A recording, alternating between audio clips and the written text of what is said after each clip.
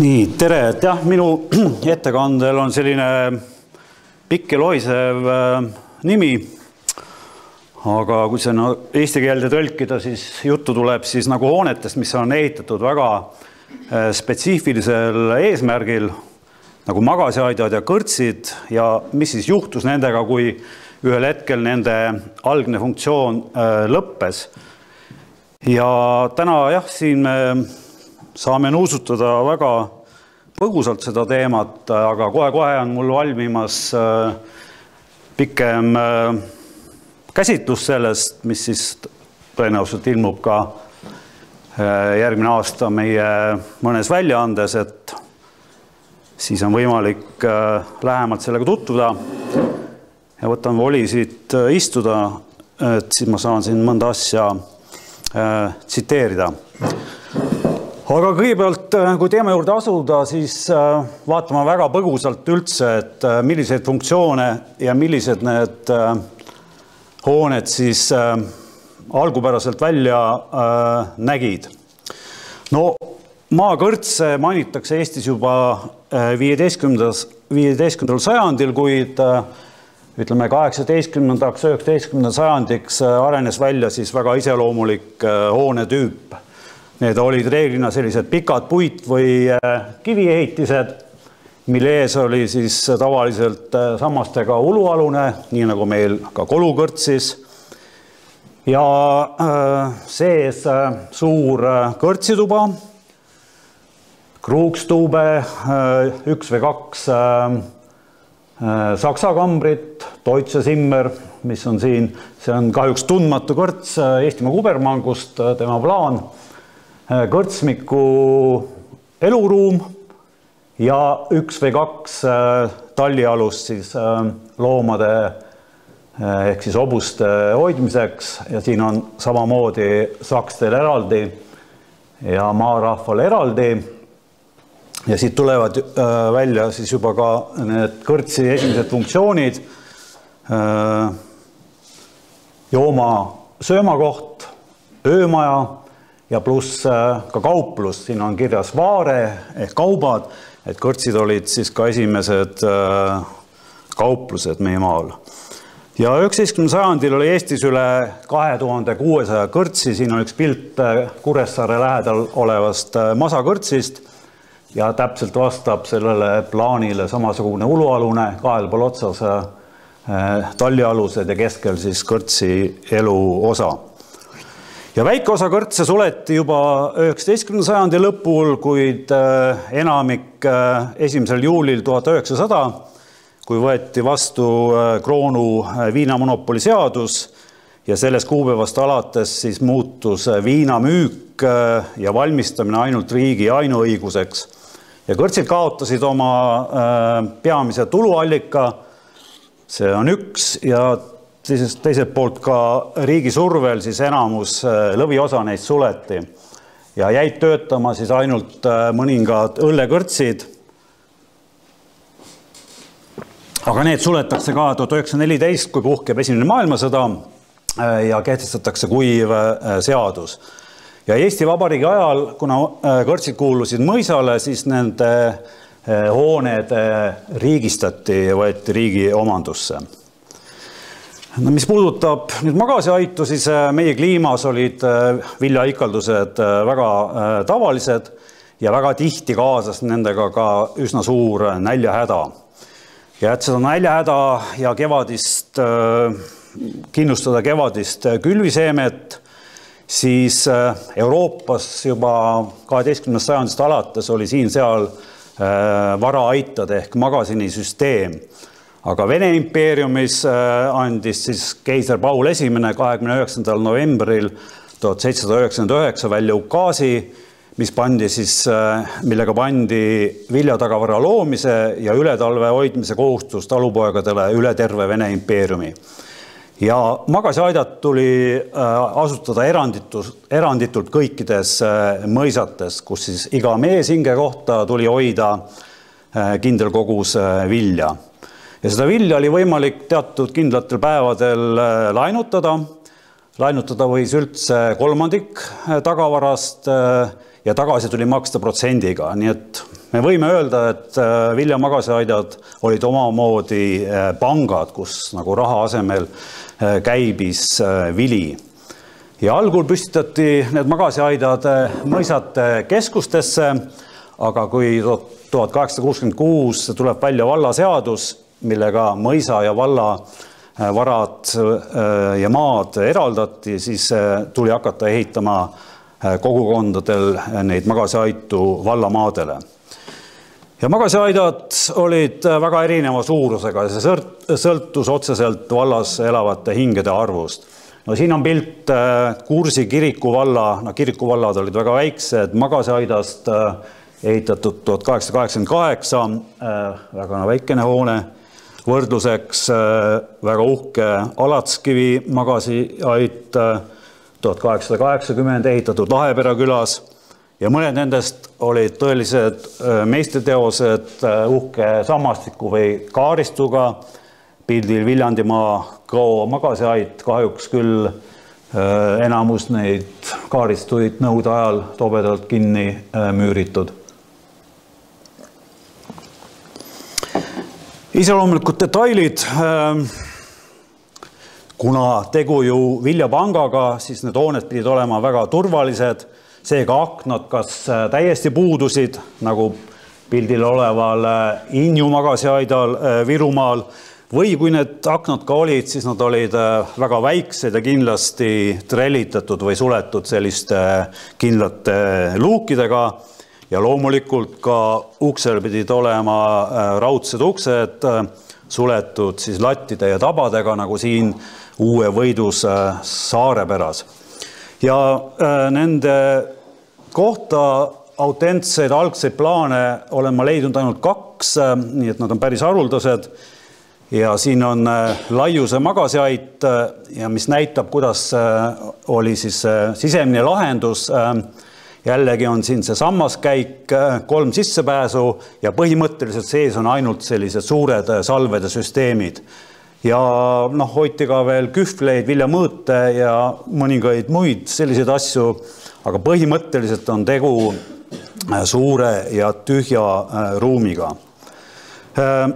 üheksateistkümnenda sajandi lõpul magasiaidad hakkasid tasapisi oma tähtsust vähendama või minetama ja kaks põhjust. Näljahäda vastu aitas leevendust tuua kartulikasvatuse levik ja eriti justkui avati Balti raudtee tuhat kaheksasada seitsekümmend ja sellega oli suure häda korral võimalik tuua Venemaa teistest kubermangudest äh, kohale vilja. nii et äh, üheksateist jaanuar tuhat üheksasada neli on selline kuupäev, kui Venemaa Riiginõukogu lubab katseliselt kõigepealt Balti kubermangudel ja nende omavalitsustel äh, äh, magasiaidad likvideerida. anti luba viljavaru ära müüa ja asendada see äh, raha kapitaliga. ja julgemad vallad tegidki seda üsna ruttu, aga suurim osa likvideeris magasiaidad siis Eesti Vabariigi aja algul et ühesõnaga nii kõrtsid kui magasiaidad kaotasid mõlemad, nagu ma algse otstarbe üsna samal perioodil, kahekümnenda sajandi esimestel kümnenditel ja äh, mõlema hoonetüübi puhul oli sarnaseks probleemiks neile uue funktsiooni leidmine. no kindlasti oli see natukene kergem kõrtside puhul, sest äh, kõrtsides, nagu me nägime, oli olemas äh, ka eluosa, aga keerulisem oli see just magasiaitade puhul, kus puudu, noh, kõrtsis oli olemas ka juba aknad, küttekolded ja nii edasi aga siin äh, magasaida puhul kõik see äh, puudus. ja nüüd näited, millised need uued funktsioonid olid ja mis leiti.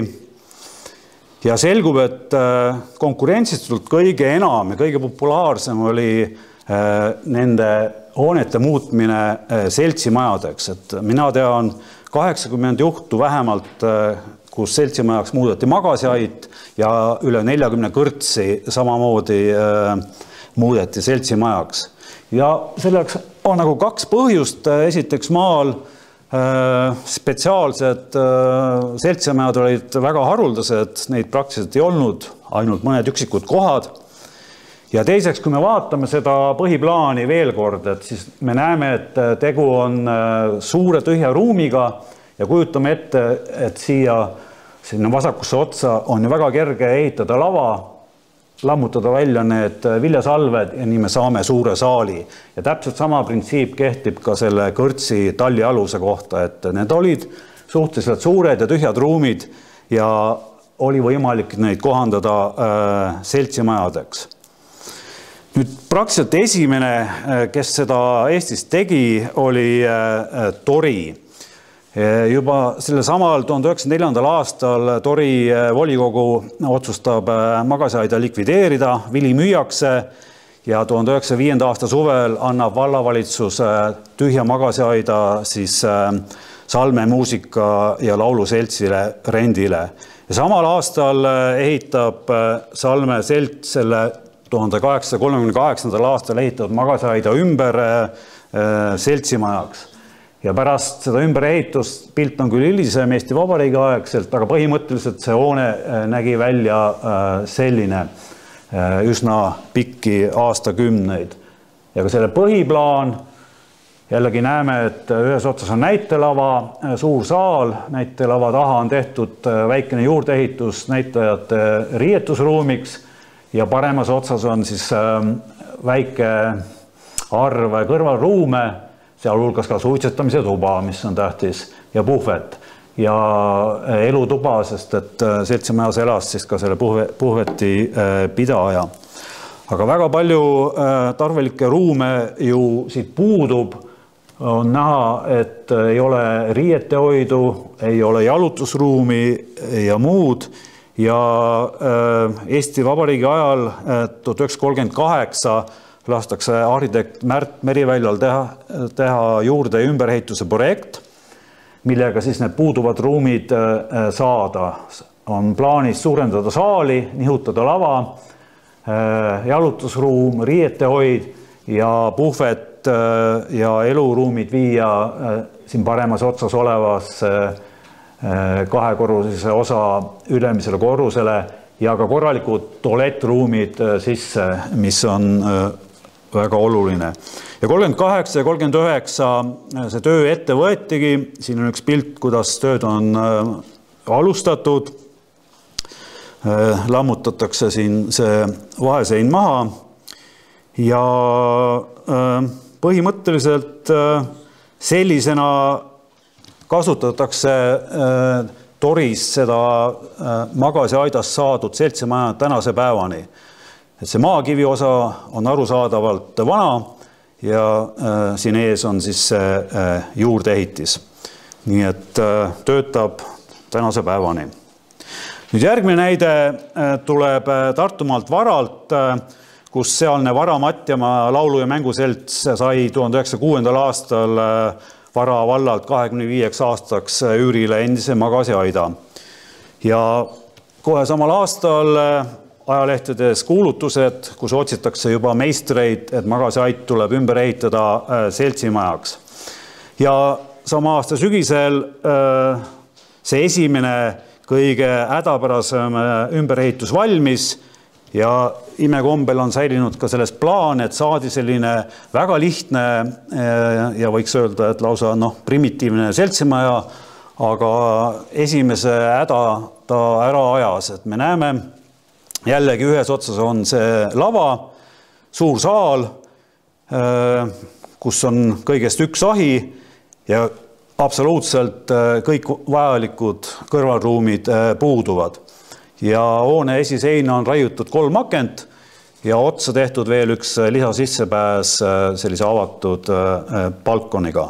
no on selge, et selline vilets ümberehitus kuigi kaua ei rahuldanud seltsi vajadusi ja juba viis aastat hiljem, tuhat üheksasada üksteist tellitakse ümberehituse projekt, mille valmistas nagu ta ise ütleb, Jurjevi ülikooli student, agronoom Aleksander Lukin. ja siin me näeme, et sellest kivist vanale magasiaidale oli ette, juurde plaanitud kuue sülla pikkune juurdeehitus. Ja seega tehti, läks maksma kaks tuhat kaheksasada rubla, päris korralik summa ja saadi siis fuajee ehk jalutusruum, selle ühes nurgas punktiiriga on riietehoid, väikene kassaputka puhvet ja siis Storos, kes oli põhimõtteliselt ka puhvetipidaja ja pidas siis korda selle hoone üle. ja pärast ümberehitust nägi see hoone välja selline, et no on selge, et väga suur kaunitar see ei ole, pigem nagu inetu pardipoeg, aga oma otstarvet ta täitis ja õnnekombel on säilinud ka üks sisevaade lavale ja lava esisele siis orkestri mängukohale. Lavale läheb siit saalist trepp ja suletud uks, mm, laternad ja paremal siin on näha suitsutoru, et, et laval ka ei oleks väga külm, siis seal lava taga oli ka üks ahi, mis läks siis nagu korstnasse. aga loomulikult ka selline hoone oli üsna kehvakene, nii et selts plaanis seda paremaks muuta ja tuhat üheksasada nelikümmend telliti uus projekt arhitekt Ott Puurraiu käest, kus on juba näha, et lava otsa on mõeldud siis näitlejate äh, riietusruumid ja puhkeruumid, maja ette äh, uus sissepääs, kus on siis äh, klosetid, suurendada einelauda, jalutusruumi, aga kahjuks sõda tuli peale ja tuhat üheksasada nelikümmend neli see hoone süüdati ja põles maha, et säilinud teda ei ole ja nüüd veel äh, lihtsalt äh, paar fotot äh, ilma pikema jututa, mis nagu iseloomustab seda protsessi. Kõola külas olev Vaimastvere magasiait, mis siis tuhat üheksasada kaksteist tehti ka selleks esmaseks seltsimajaks, lihtsalt kolm akent sisse ja lava ja saal sisemusse ja tuhat üheksasada kakskümmend kaheksa juba tehti selline olulisem juurdeehitus arhitekt äh, Erich Jakobi projekti järgi ja sellesse uude äh, betoonkividest ossa siis paigutati nüüd äh, saal, suurem saal ja lava ja kõik ülejäänud kõrvalruumid sinna vanasse magasiaida ossa. kahjuks see hoone on jah, praegu hüljatud, aga noh, on veel alles. no kahtlemata see magasiaida kohandamine seltsimajaks oli väga kulukas ja raske, sest tuli lahendada mitu olulist küsimust nagu peamised siis äh, soojustamise küsimused, valgustus ja küte. ja selle hästi võtab kokku ajaleht Kaja tuhat üheksasada kakskümmend kolm, äh, mis kirjutab Vana Tänassilma seltsimaja kohta niimoodi haridusselts on magasiaidast, mis nende käes juba pikemalt kasutada, pidusaali korraldanud, kus aastas kümmekond pidu korraldatakse kuid senini on hoone ikkagi aidaks jäänud. talle on küll laudpõrand alla pandud, kuid puuduvad isegi aknad, rääkimata teistest tarvilistest tuulutamise abinõudest. sellest siis ka tuleb, et iseenesest tantsu ajal põrandalt niisugused tolmupilved üles keerutatakse, et silm sellest enam läbi ei tungi. pidusaal on madal ja pime. suvel võib seal pidusid korraldada, kuid talvel tuleb seda kõrvalruumide puudumise tõttu tervisele kaardetavaks pidada vanadest kivimüüridest on ka raske nõuetele vastavaid ruume ehitada. hoolimata sellest pessimistlikust kirjeldusest, seesama vana tänast silma magasiait teenib rahvamajana tänapäevani ja praktiliselt ega ta muutunud ei ole, et, et selline huvitav fenomen. ja lisaks sellele ja torile on äh, magasiaidad ma, äh, seltsimajadena veel kasutusel äh, Heimtalis, Olsteres, Kaareperes, Paadremaas, Rannas ja Valtus. ja selle ma, äh, seltsimaja lõpu äh,, lõpetuseks äh, üks meeleolukas pilt soodaga magasiaidast saanud seltsimajas, selles saalis lõikus pidu, on näha, et noh, akne praktiliselt ei ole, et ikkagi väga lihtne ruum, aga inimesed on rõõmsad ja, ja tuju on üleval nüüd üks esimesi kõrtse, mis muudeti seltsimajaks, oli äh, Aravetel olev äh, Kurisoo kõrts, mis suleti tuhat üheksasada neliteist ja samal aastal sai selle rendile Aravete äh, tuletõrjeühing. telliti selle ümberehitamise projekt.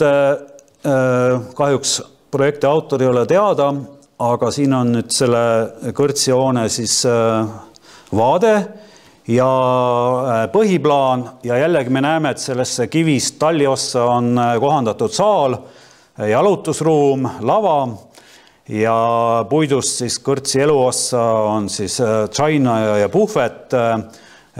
seltsi juhatuse ruumid ja paremasse otsa on tehtud juurdeehitus, kus siis elas siis põhimõtteliselt majahoidja ja kuna tegu oli pritsimeestega, siis eripärasena on siin vasakus otsas see kalanga, mis on tuletõrje kustutusvahendite hoidmise ruumid ja tuhat üheksasada viisteist see ümberehitus tehti, lisati ka torn voolikute kuivatamiseks ja see maja teenis Aravete pritsemehi kuni tuhande üheksasaja kolmekümne kaheksanda aastani, kui valmis selle vastas siis uus seltsimaja, mis on kasutusel tänaseni.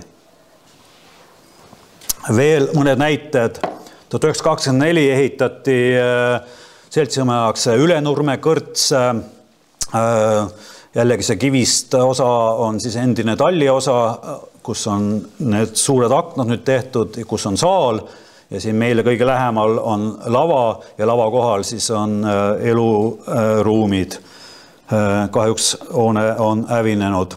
alles on äh, Kaagerve mõisa järvekõrts, siin ta tegutseb veel kõrtsina ja sellisena säilinud mida siis hakkas kasutama Kaagerve Rahvaraamatukogu selts ja tuhat üheksasada kakskümmend seitse tehti talle siis sisemine ümberehitus ja tuhat üheksasada kolmkümmend kuus veel äh, plaaniti teha äh, uus äh, arhitekt või insener Richard Mitti projekti järgi ja siit on hästi näha, millised ruumid siis sinna olid kõik plaanitud, kui see täiesti ei teostunud, et osa asju jäi tegemata, aga noh, plaan on hea ja selge ja on näha, kuidas siis endine kõrtsiruum on muutunud.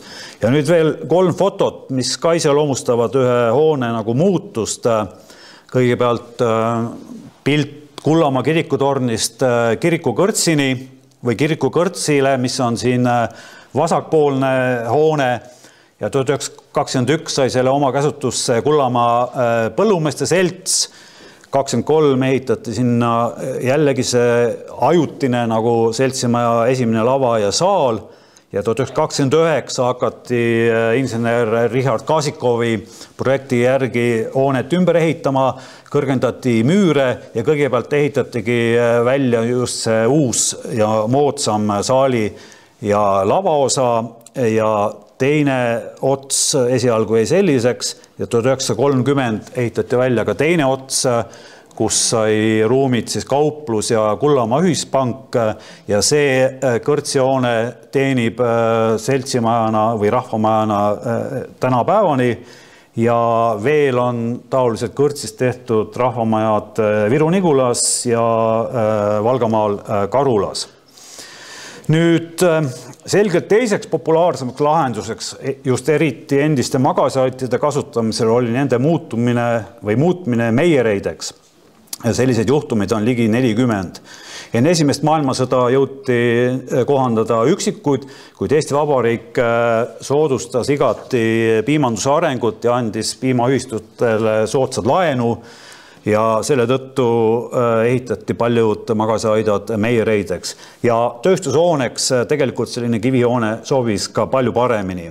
mõned näited, tuhat üheksasada kakskümmend kaks asutati Puiatu ühispiimatalitus, kes ostis siis endise magasiaida, telliti Eesti esimeselt piimanduse eriteadlaselt Martin Määrilt projekt, ehitati juurde korsten ja teisele korrusele puidust eluruumid, mis oli meie reide puhul väga tavaline ja ka selle hoone põhiplaan, ees on platvorm äh,. taha juurde on ehitatud siis äh, masinaruum number kaks, number kolm äh, võihoiuruum, number neli jääkelder ja sees on siis äh, piima vastuvõturuum number üheksa, selle taga siis masinaruum, number viis on siis kaseiini ja kohupiima tegemise ruum ja siin siis veel laborid ja äh, laoruumid äh,.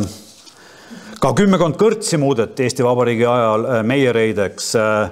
siin on jah, üks Kõnnu magasiait äh, ja äh, mõned näited ka kõrtsist, mis on tehtud meiereideks, Visusi kõrts vasakpoolne puidust osa on eluosaks, kus elas meier ja need teised ruumid on äh, näha siin kenasti.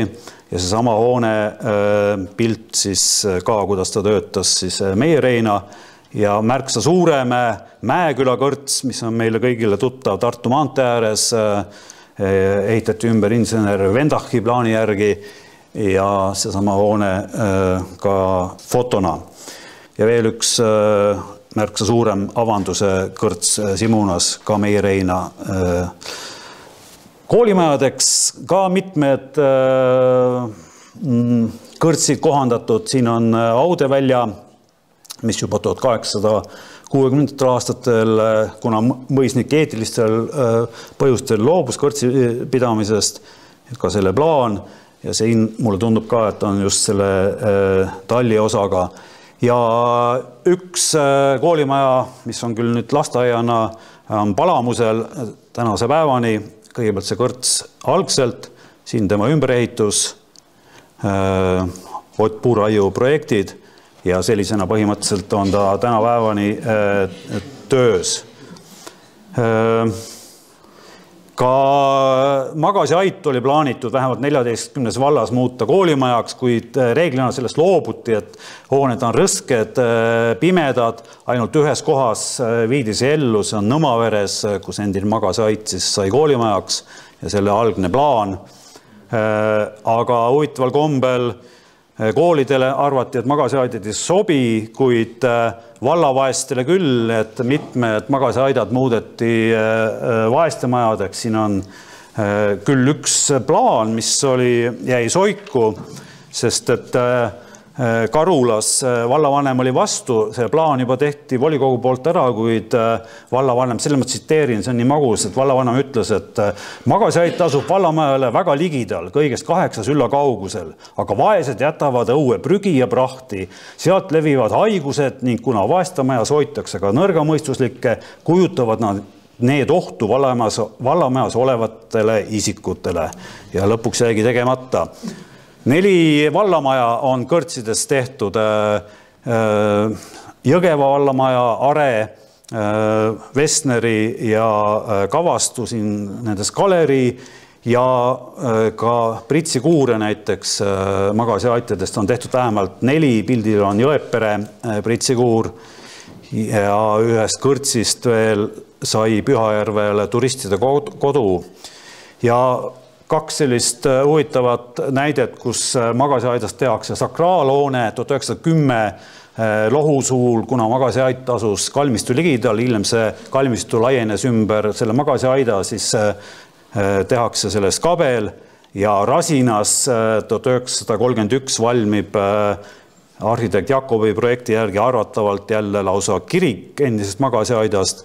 praegu kahjuks väga halvas seisus, nõukogude ajal oli ta siin kuivati ja viimased kolm slaidi lihtsalt ühe Torma postkontori ehitusetapid äh, magasiaidast kuupäevade kaupa, kuidas ta valmib ja selline hoone siis lõpuks sellest tuli, tänaseni on ta alles, et äh, iseloomustab seda protsessi hästi.